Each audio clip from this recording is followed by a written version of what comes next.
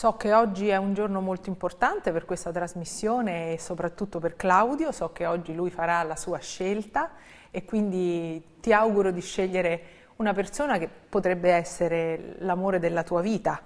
e se così sarà non ti dimenticare di invitarmi alla tua unione civile e quindi spero che il vostro amore abbia quei frutti meravigliosi di felicità che in fondo questa legge ha cominciato a portare in tante coppie in tante famiglie. Le persone omosessuali, le persone eterosessuali sono tutte uguali, sono tutte persone, hanno tutte diritto alla felicità e lo Stato deve riconoscere a tutti questi diritti di inclusione all'interno della cittadinanza attiva. Io penso che Maria De Filippi abbia avuto un grandissimo coraggio, quindi Maria il mio è anche un grazie perché il lavoro del legislatore, il lavoro umile che io ho fatto dentro questo Parlamento non poteva avere un risultato migliore se non quello di arrivare al grande pubblico attraverso un programma come il tuo, dimostrare che un amore omosessuale è esattamente uguale ad un amore eterosessuale. Quindi anche un grazie ai ragazzi che hanno partecipato, che hanno dato un senso di normalità, che è la parola più importante nell'occuparsi di inclusione e di integrazione, dimostrando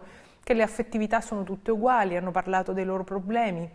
delle loro famiglie, di quanto è stato difficile fare coming out e di come comunque si può essere accettati perché appunto l'amore è tutto uguale. Credo che la vera cultura del paese cambi attraverso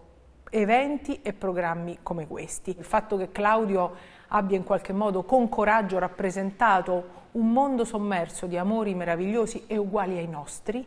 secondo me gli, ha fatto guadagnare anche dei punti in termini di stima e di consenso. Io lo stimo molto. Sicuramente un grazie di cuore davvero Maria e soprattutto a Claudio un augurio di amore e di felicità.